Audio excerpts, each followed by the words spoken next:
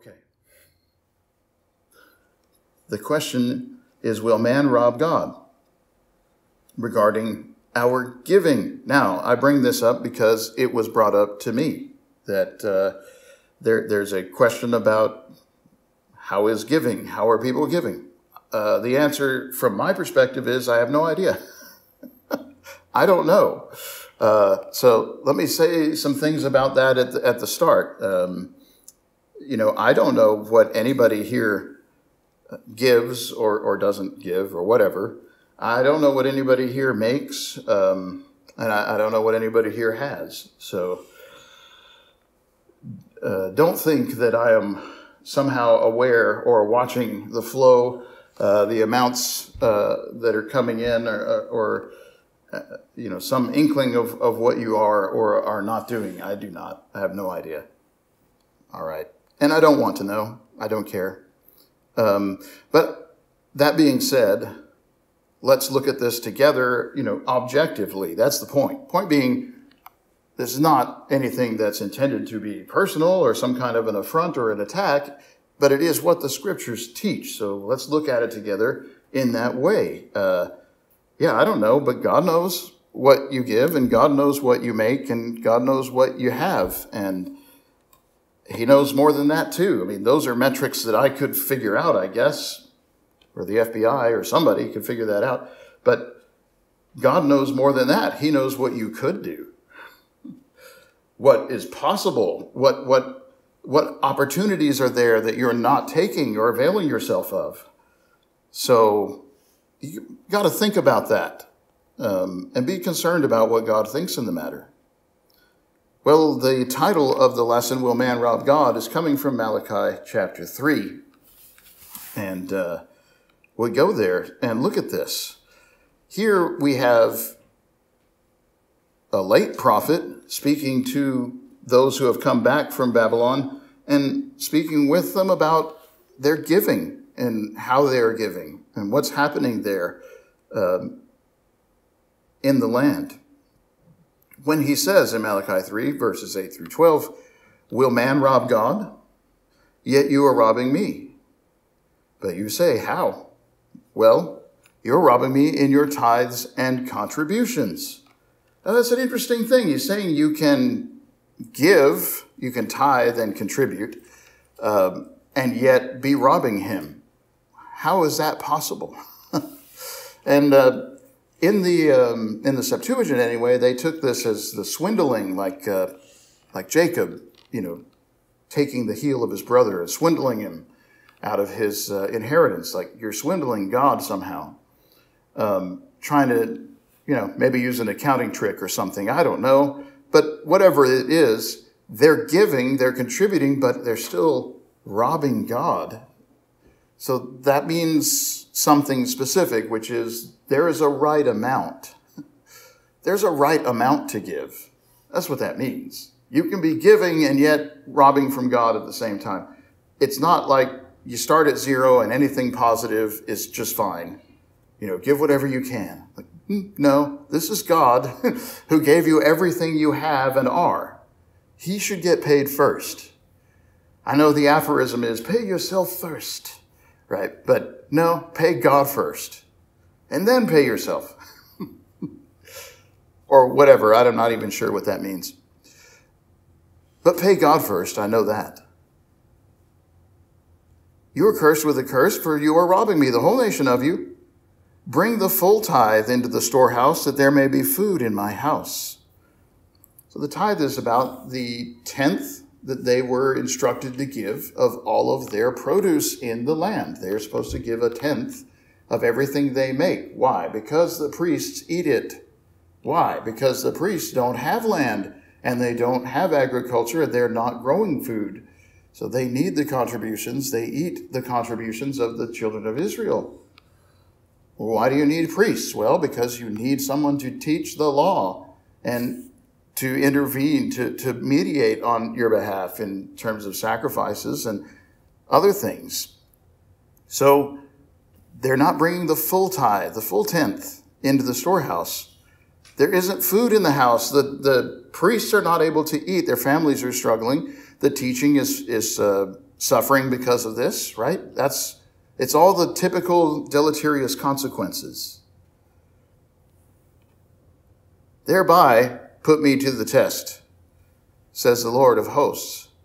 See if I will not open the windows of heaven for you and pour down for you a blessing until there is no more need. It's interesting that God says, put me to the test in this way. there have been a lot of tests that we put God to, right? But the one that he actually asks for is this. Give like you should and see if your need doesn't go away. That's what he's saying. Put me to the test by this. See if I won't open the windows of heaven for you and pour down for you a blessing until there's no more need. I will rebuke the devourer for you so that it will not destroy the fruits of your soil. Your vine in the field will not fail to bear, says the Lord of hosts. At that time, all nations will call you blessed, for you will be a land of delight, says the Lord of hosts. When we say the devourer that God rebukes, he says, I rebuke the devourer. It will not destroy the fruits of your soil. The devourer is a, you know, a locust or a mildew, a blight, something that destroys crops. Those are things that are, you know, somewhat out of our control. Things happen. But he said, I'll rebuke it. Your vine will not fail to bear. If you give God first, if you give to God first, he will bless you. And, you know, Jesus said the same thing, right? Seek first his kingdom, and all these things will be added to you. You have what you need. Then will all nations call you blessed, and then are you a land of delight. So there's, they'll have what they need in addition to having done what is right in terms of priority, that they put the teaching of God's word, the sacrifices, the service of the tabernacle first. And that's what they should do. When they do this, then they get what they need. But Haggai records some of the things that you're thinking about with Malachi. How did this come to be? What exactly is happening?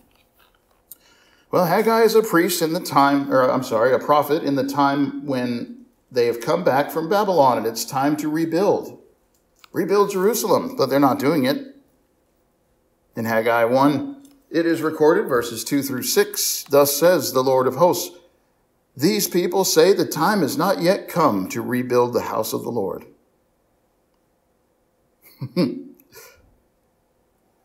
it's interesting. Thus says the Lord of hosts, the time has not yet come. No. No, that's not it. Thus says the Lord of hosts, these people say the time has not yet come. As in, the Lord didn't say that. The people said that. Then the word of the Lord came by the hand of Haggai the prophet. Is it a time for you yourselves to dwell in your paneled houses while this house lies in ruins? Well, is there something wrong with a paneled house? No. There's something wrong with living in a paneled house while this house lies in ruins. We cannot, you know, take care of ourselves first. We have to take care of God first and God's things first. Give to the Lord. Do the work of the Lord first, and these things will be added. Uh, what is a paneled house? I don't, you know, I think he's talking about the fact that they have, you know, wood, they have, you know, hard structures as opposed to just tents or temporary structures. Or perhaps these panels are decorative somehow, uh, beautiful, whatever it may be. The point is they're extra they're superfluous. It's not really required the way that the work of God is required. That the emphasis is on the house of the Lord should be built. Now, the thing about this is that, you know, we're here in the paneled houses, you know, we've come out of a faraway land, we've come to this place. There's no walls yet because we're not done with that. Um, And there's no temple yet, but we do have houses to live in. And, you know, as long as we're here, we might as well make them look nice. You know, it's like the pandemic, right? Home Depot is so thankful for the pandemic. as long as we're here, we might as well make it look nice. Uh, um, right? This is the thinking. And yet, is it really the time for you to be comfortable and God to suffer? To suffer loss? Is that how it should be? Yeah, not really, right? The time for us to be comforted is when our work is done. This is the time to serve the Lord. Now, therefore, thus says the Lord of armies Consider your ways. You have sown much and harvested little. You eat, but you never have enough. You drink, but you never have your fill. You clothe yourselves, but no one is warm. Yeah, he's saying, you know, look what's happening. Why is it happening this way? Consider again what Malachi said put me to the test, bring the full tithe, and see if I don't open the windows of heaven for you. There will be no more need. Here, they sow much but harvest little. They eat but not enough. They drink but are never filled. Clothe themselves but not warm enough. It's all of it not enough, not enough. Why? Consider your ways. But the reason why, you know, as he says here, he, he who earns wages does so to put them into a bag with holes. It's leaking. the bag with holes. Well, what's that? I mean, you kind of know what a bag with holes, you know, and you put your wages in there and they fall out, right? But it's leaky. What we mean by this is there's a cut, you know, there's a percentage, there's a, a, a you know, grift happening. It's being lost. The, the money is, is not going to God. It's going somewhere else. And it's doing so like as if your money bag had holes in it and you kept using it. It's doing so as a rule, as a habit we, we've gotten into this idea that, well, we, we earn something, we, we, and, and it, first it goes down this hole, and, and it goes to these things. And that's just not right. First it goes to God, and then take care of everything else. Then in the seventh verse, he picks up again down to 11. Thus says the Lord of hosts, consider your ways. Go up to the hills and bring wood and build the house, that I may take pleasure in it and that I may be glorified, says the Lord. You looked for much, and behold, it came to little.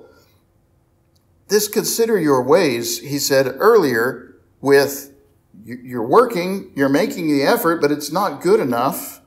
Why? Think about that. Now he says, consider your ways. What ways? Well, they're sitting there saying the time has not yet come to build God's house, but they live in built houses. So they have built houses, they have paneled homes, but there's no temple to worship God. That's not important, apparently. It's not time yet. Time's not right. Well, time's never right, if you think about it. He who regards the wind will never sow. It's never right. Consider your ways. Go up to the hills and bring wood and build a house. Why is he saying that? Because their thinking is, well, we don't have it.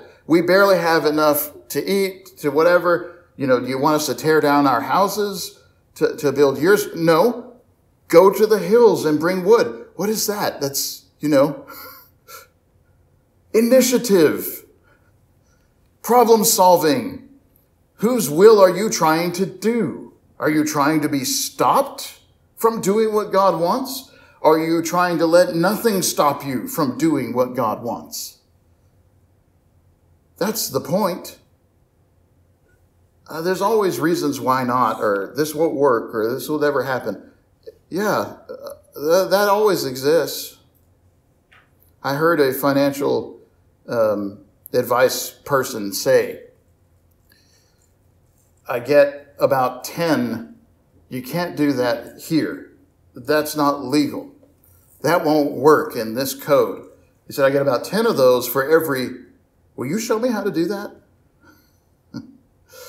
I think he was telling the truth about that. I don't trust him about much else. But I think he was telling the truth about that. It's true. We're really good at finding ways why that's not going to work. But somebody needs to say, you know, I want to get this done. What is God's will? What is God's way? Well, let's do it that way. You know, here they sit with no, with no walls, worried about being invaded, saying, uh, you know, it's not time to build God's house. And they're surrounded by wood. We'll go get some wood and bring it back and build. That I may take pleasure in it. Shouldn't God have pleasure? That I may be glorified. Shouldn't God be glorified? You looked for much, behold, it came to little, and when you brought it home, I blew it away. Why? Declares the Lord of hosts, because of my house that lies in ruins, while each of you busies himself with his own house. That's why the heavens above you have withheld the dew, and the earth has withheld its produce. Well, he's very plain. I think Malachi was plain enough, but this is quite plain. Yes, you, you made some stuff, you, you came home, and I destroyed it precisely because my house lies in ruins. The condition of my house is that it lies in ruins, but you're busy in your own house, your own business, your own things that you are doing that seem important to you, your pursuits. But God's should come first, and they're not coming first. And so, he's reminding them that they need him by letting them suffer need because man does not live by bread alone, but by every word that proceeds from the mouth of God. This is why the heavens above you have withheld the dew, the earth withheld its produce, and I've called for a drought on the land and the hills, on the grain, on the new wine, the oil, what the ground brings forth, man and beast, and all their labors.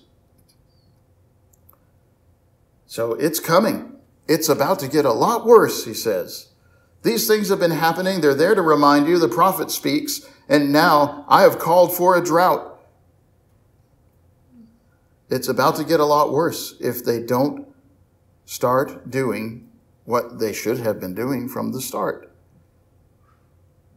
Well, the start of this is verse 1 in the second year of Darius king, sixth month, on the first day of that month.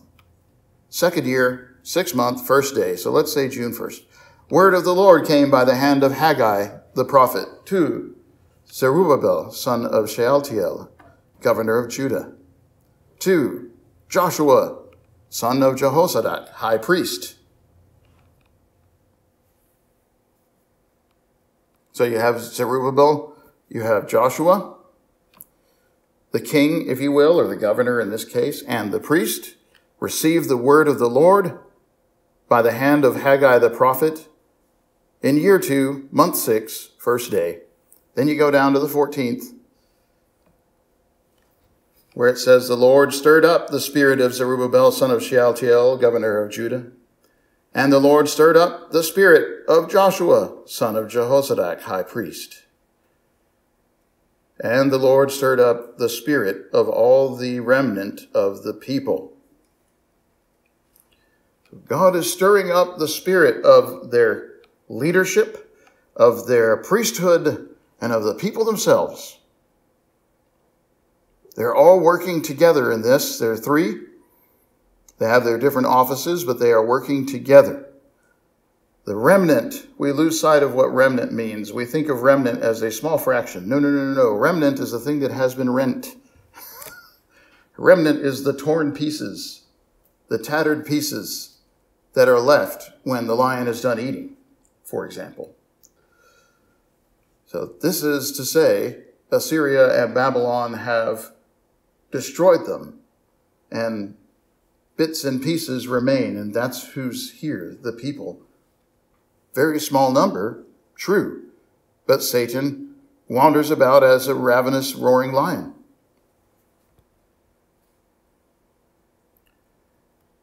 So the word of the Lord came in month six, day one, they came and worked on the house of the Lord of hosts their God on the 24th day of the month in the sixth month in the second year of Darius the king.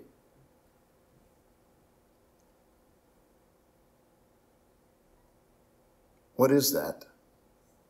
It's three and a half weeks. yeah, so it's a time, times, and half a time. Right? A week, weeks, and half a week. It's three and a half weeks. The word of God came saying to them, Is this how it should be? And they had to think about it. But inside of the month, they got together and came and started to work on that house. That's how this went.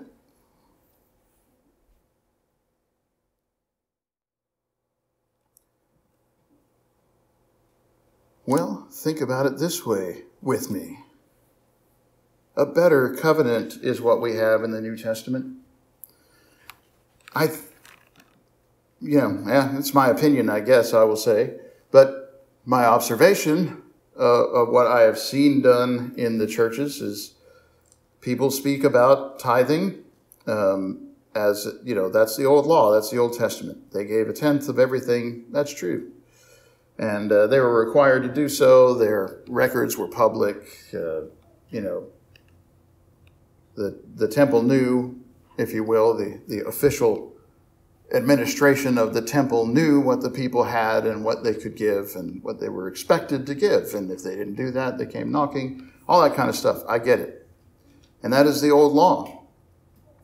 But what I what I hear very often in the teaching is that well, that is the Old Testament, and the Old Testament isn't binding anymore. Jesus is the one. And, th- and then everybody breathes this collective sigh of relief. you know, like, whew, okay, good.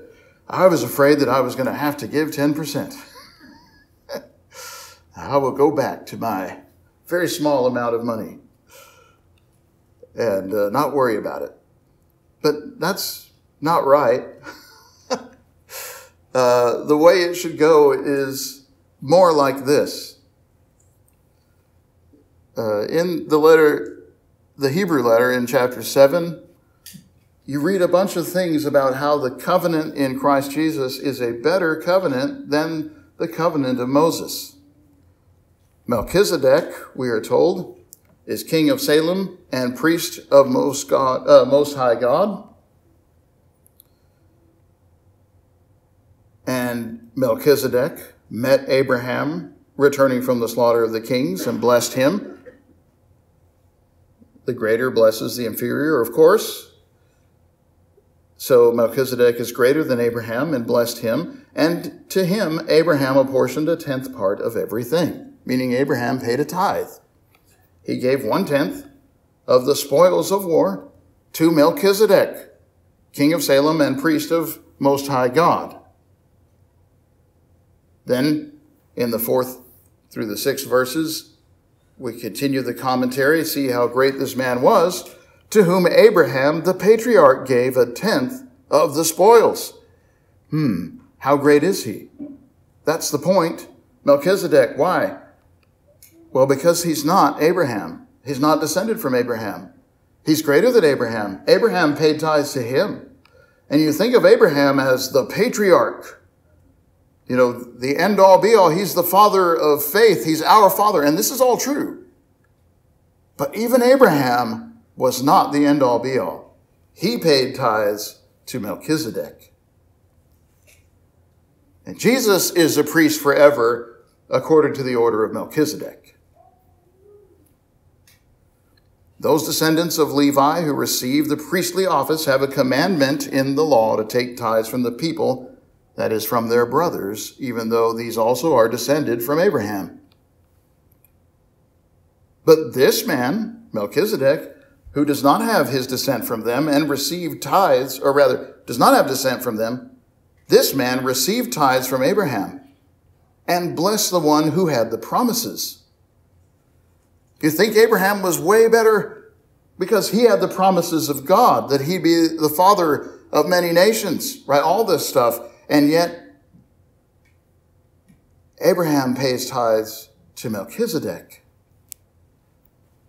One might even say, verse 9, that Levi himself, who receives tithes, paid tithes through Abraham. It means in a typological way, in, in, in that it, it, it's following a pattern that looks like this.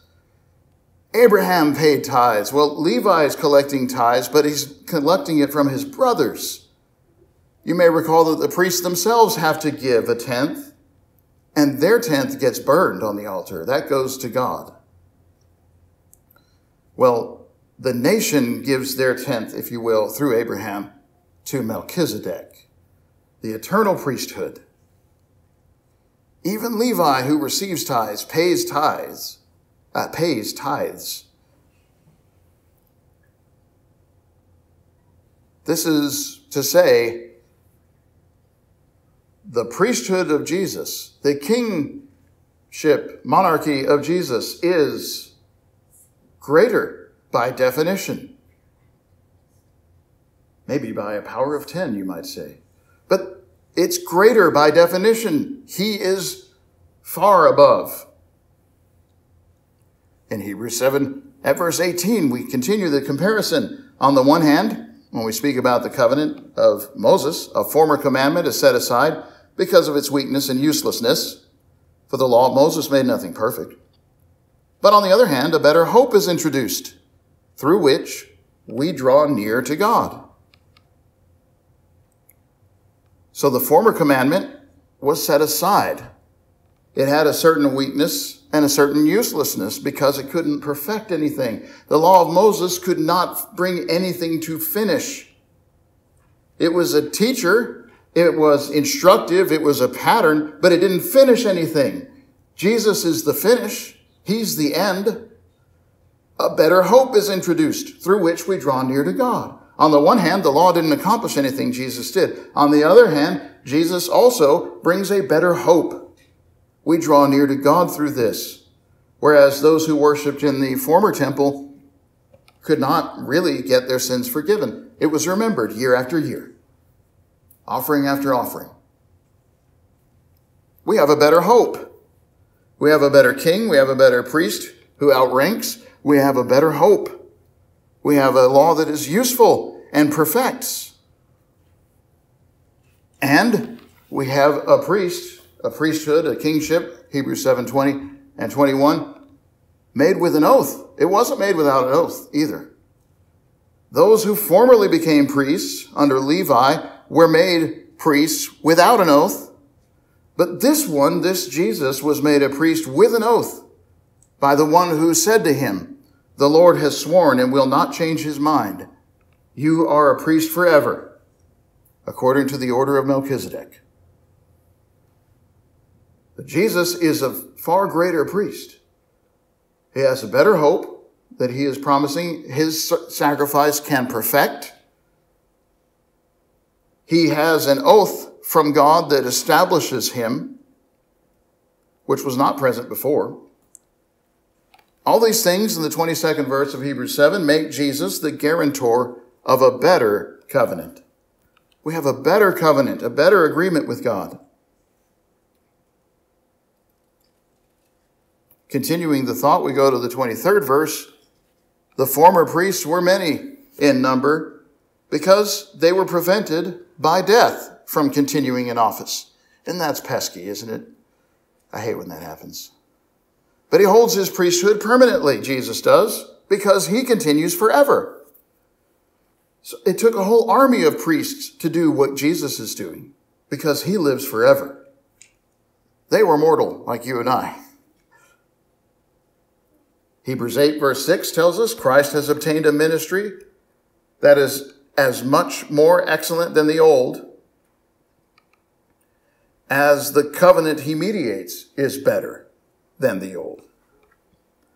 So the service that God does and the ser- or I'm sorry, the service that Christ does and our service to him is better than the old.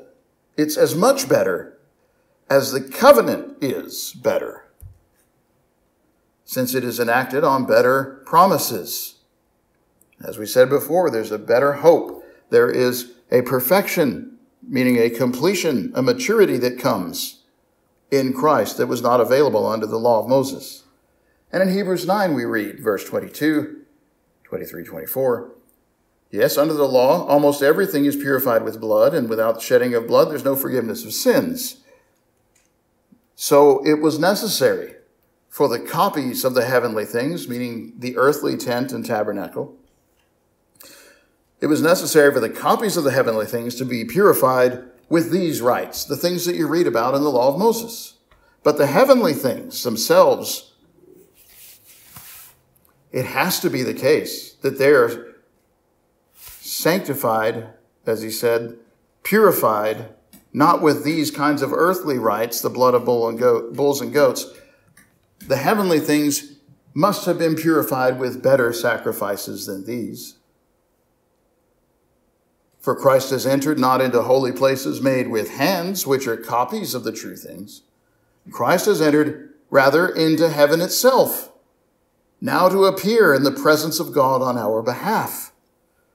So he's not in a temple somewhere as a proxy to God in the heaven. He is in heaven. He speaks with God face to face. That's our mediator.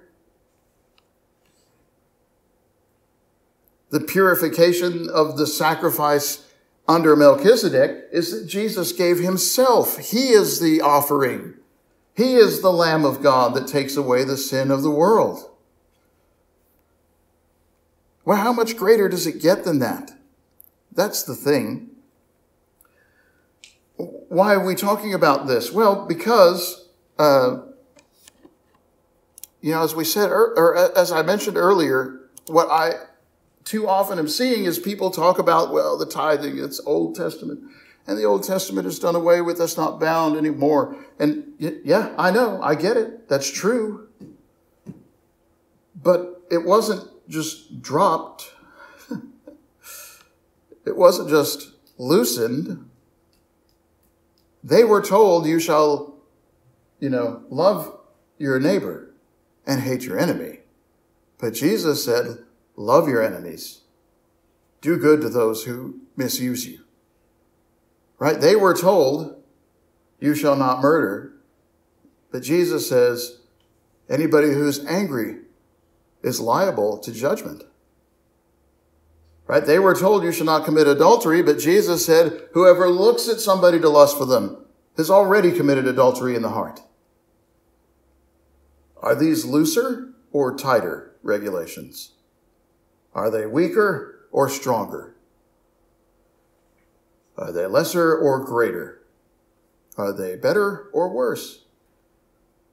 And then when we look in the Hebrews and we see we have a better covenant on better promises with a better mediator, with the heavenly things, not the earthly things, how then do we draw the conclusion that we do less? I don't see it. I can't argue that from the scriptures. How do we draw the conclusion that we do less? I don't know. It's not in there. I don't see it. If this is better, shouldn't we be doing better? Shouldn't we do more? Or at least do what they did? I would think so. As I said before, I don't know what you give and I don't want to know what you give. I want to teach what the Bible says. And there's plenty, there's plenty here in the scripture that bears witness to us that what we have yeah, the old is gone and is done away with and was earthly in its provisions, but it was replaced by something better. It was fulfilled by something better, something higher, something much more valuable. I don't have any way of concluding that that means we do less, we give less. I don't see it.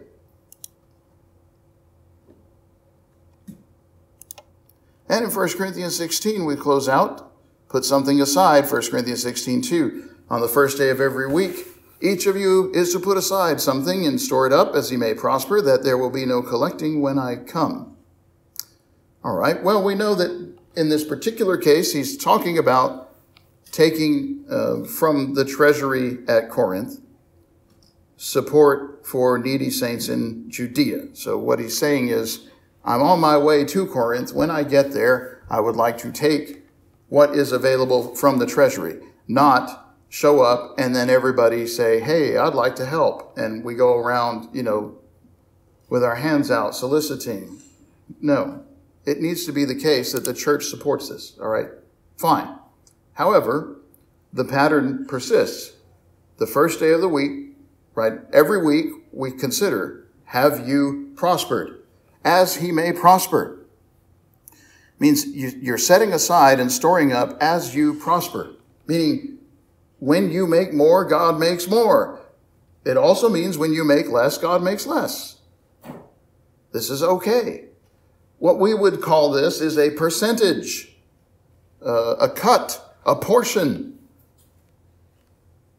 Decide what cut does God get of your income? And when you get it, you give him his cut before you do anything else. He always gets his cut. His cut is first. That's all this is saying. You put aside something, you store that up as you prosper. That's how this is done. When you make more money, God makes more money because he gets a cut, a percentage, a portion, right? But it's also true that when you don't have as much, well, you don't give as much either, but it's the same proportion of what you have. That's how it is. If you make $100, you give $10 if you're going with 10. You make $20, well, then you give two. Well, you're still giving the same amount from God's perspective because you're giving his percentage, his cut. That's how this works. But, you know, it's also true. You make $10,000, well, you give $2,000 or uh, uh, $1,000, right?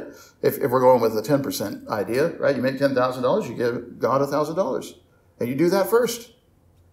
The rest is yours. That's God's. Because, well, He gave it to us. He made the world. He made the produce in the world. He made the increase in the world. He made the sun from which we get all of our energy. Right? He gave us our lives, our opportunities, our bodies to labor with. Yeah, it makes sense. He deserves the first cut. But 1 Corinthians 16 is just saying this is a percentage. You, you set a percentage. And what I'm getting at from this from the scriptures is, uh, you know, on, uh, on in Hebrews is we have a better covenant. I think you ought to think about that pretty seriously. Does it mean that we give less, or does it mean that we give more, or does it mean that we continue to give, but we do so thankfully? We don't necessarily have a, a Levite tribe or something like that, but we do have other things that need to be supported. But when you go back and, and think about the prophets, and, and what they had said, you know, all these things apply. Like, shouldn't God be important? Shouldn't God's service be important? Do you think to yourself, well, I can't afford to give to God this much? Well, what do you mean? Why not? God should come first, and as he said, put me to the test. See if I don't provide what you need. Now, this is not a prosperity gospel. We're not saying, you know, you give too much, put yourself in the poorhouse, and God's going to pull you out of there. No, there's no promise that you're going to get a return on investment or anything like that. We're saying when you give what is right, God will make sure that you have what you need. Jesus said, Seek first his kingdom, and all these will be added to you. You got to trust what Jesus said. You got to trust what the scriptures show. This is the pattern. And the alternative is not very good when people don't give a tenth and you have somebody laboring there who's trying to make a living by doing that laboring, it takes a lot more than 10 families for that person to do so. That's the other side. Are you looking at the, at the um, logistics of this? If you're a congregation and you want to have an evangelist, uh, and, and you want to, that person to, to be compensated in such a way that he can live and work among us like everybody else does, well, the percentage that people give, you know, determines how realistic that is. If the, you know, if there's 10 families and everybody gives 10%, well, then he has the equivalent of the average income of the congregation, and that seems very reasonable. That seems fine. Right? You got 20 families, 30 families, 50 families, whatever it is. You, you get to a place where you have the ability to support an evangelist, um, to support your elders, to support your, your widows. Right? There are many things that can be done, but if you think about it, you know, people giving a lot less than 10% was going to take a lot more than 10 families just to have somebody preaching the gospel.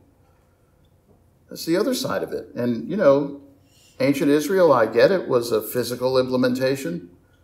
And, you know, I, I mean, you know, I know that as well as anybody does.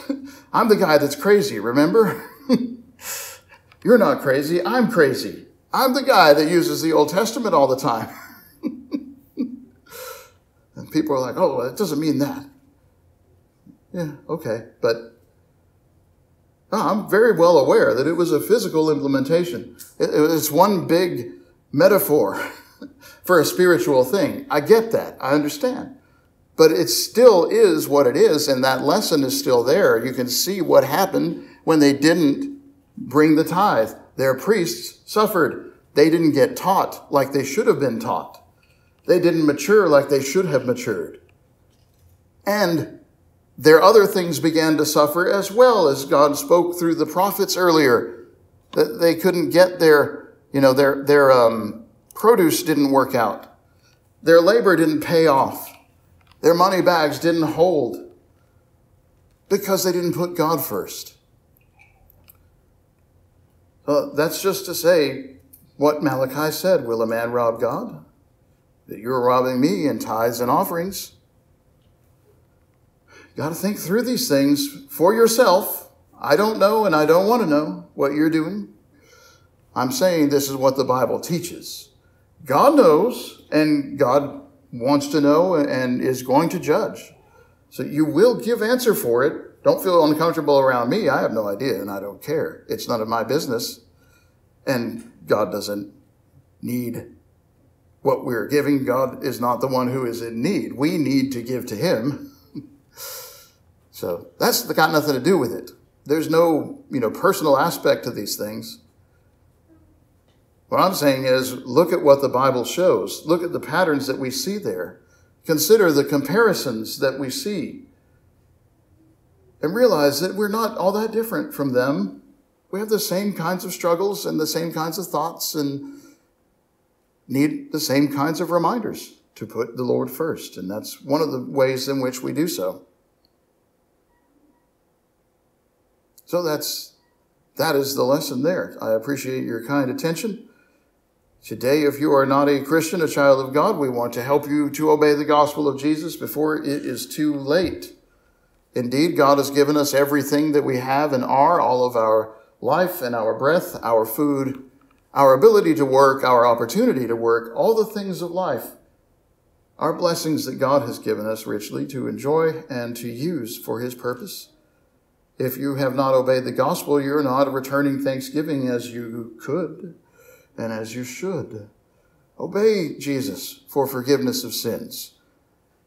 Be baptized in his name for forgiveness of sins based on your repentant heart, coming to him and trusting faith.